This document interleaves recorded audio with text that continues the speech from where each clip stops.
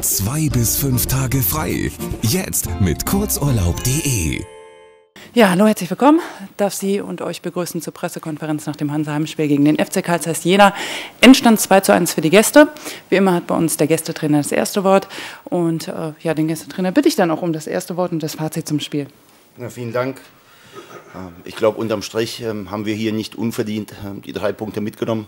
Aber ich möchte doch äh, am Beginn des Spiels anfangen. Wir sind sehr, sehr gut äh, reingekommen, haben dann das Glück, dass äh, ja, die beiden Freunde, kann man schon auch so sagen, Starke und Wolfram, ähm, zum wiederholten Male äh, die Führung herausschießen, ähm, um äh, dann aber auch nur fünf Minuten später schon wieder den Gegentreffer, den Ausgleich zu kassieren. Das ähm, ja, passiert uns einfach zu häufig. Äh, ich weiß nicht, ob äh, es an der Jubelarie dann liegt, äh, weil wir uns dann freuen nach fünf Minuten irgendwie, als ob wir das Spiel gewonnen hätten. Das habe ich auch kritisiert in der Halbzeit dass wir da den Fokus einfach nicht aufrechterhalten können. Wobei man einschränkend ähm, noch erwähnen muss, wir waren zu dem Zeitpunkt eben 10 gegen 11 und ähm, sind dann vielleicht nicht ganz so griffig auf den zweiten Ball nach dem Einwurf. Und dann steht es 1-1 und ich glaube, Hansa war dann 30 äh, Minuten absolut spielbestimmt. Ähm, der Plan mit und gegen den Ball ist nicht aufgegangen. Sie haben uns immer wieder unter Druck gesetzt. Wir hatten eigentlich nur die Lösung rückwärts zum Torhüter und langer Schlag.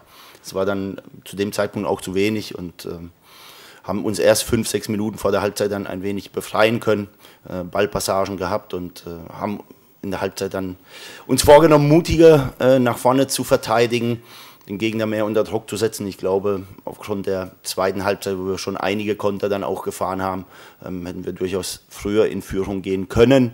Ähm, schlussendlich ähm, freut es mich vor allem für Manni Starke, der in den vergangenen Wochen, ich kann es nur immer wieder erwähnen, völlig zu Unrecht äh, dermaßen kritisiert worden ist. Ähm, und äh, ich bin einfach froh, dass er bei uns im Team ist. Nach dem 2-1 hätten wir sicherlich das dritte nachlegen können, wenn nicht gar müssen. Und haben dann in den letzten zehn Minuten sicherlich nicht allzu schön für die Zuschauer, für uns sehr, sehr clever, dann diesen Vorsprung äh, über die Zeit gerettet. Ähm, das gehört eben im Abstiegskampf ähm, auch dazu, dieses äh, Führungstor, diesen 2 zu 1 Vorsprung über die Zeit zu retten, haben wir clever gemacht. Und ähm, insofern Glückwunsch an die Mannschaft. Ähm, vielen Dank an die Fans für die großartige Unterstützung. Ähm, es war eine tolle Stimmung hier in Rostock. Jens, dir und deiner Truppe, ähm, deiner Mannschaft. Alles, alles Gute für den restlichen Saisonverlauf und natürlich auch für die kommende Saison. Ähm, vielen Dank. Vielen Dank, Lukas Kwasniok. Und damit übergeben wir gleich das Wort an unseren Cheftrainer Jens Hertel. Dein Fazit bitte. Ja, also kann schon in großen Teilen da, davon mitgehen. Äh, ich muss sagen, es war die schlechteste zweite Halbzeit, äh, die wir hier überhaupt gespielt haben in der Zeit, seit ich hier bin. Und damit äh, geht auch jener hier völlig verdient äh, aufgrund der zweiten Halbzeit als, als Sieger vom Platz, weil wir, da haben wir es dann einfach nicht verdient, weil wir dann viele Sachen die wichtig sind in dieser Liga, äh, nicht auf den Platz gebracht haben. Ja, wir sind schlecht reingekommen, wie so oft, ja, haben Probleme, sag ich mal, diesen langen Ball zu verteidigen und äh, dann ging es mal schnell, äh, mal, dann liegst du 1-0 hinten, dann sind die Jungs dann aber gut zurückgekommen, haben dann eigentlich das Spiel im Griff und das ist dann, was ich in der Halbzeit dann auch schon, was mich ärgert, ist dann so ein bisschen die Schlampigkeit in, in den letzten Aktionen. Da wird dann mit dem Außenriss gespielt, da wird nochmal äh, kompliziert gespielt, statt dann äh, schneller, schnörkelloser, geradliniger auch die Abschlüsse zu suchen. Da haben wir es zu kompliziert gemacht und äh, darum geht es dann halt bloß mit dem Unschieden in die Pause, weil wenn wir es ein bisschen zielstrebiger gemacht hätten, hätten wir da auch in der ersten Halbzeit noch das Tor nachlegen können, zweite Halbzeit hat man dann schon gesehen, dass Jena uns ein bisschen früher attackiert. Wir hatten nicht mehr so diese Ruhe und diese Ruhephasen im Ballbesitz, die wir in der ersten Halbzeit hatten. Und dann war es natürlich schwer. Dann haben wir vorne die Bälle nicht festgemacht.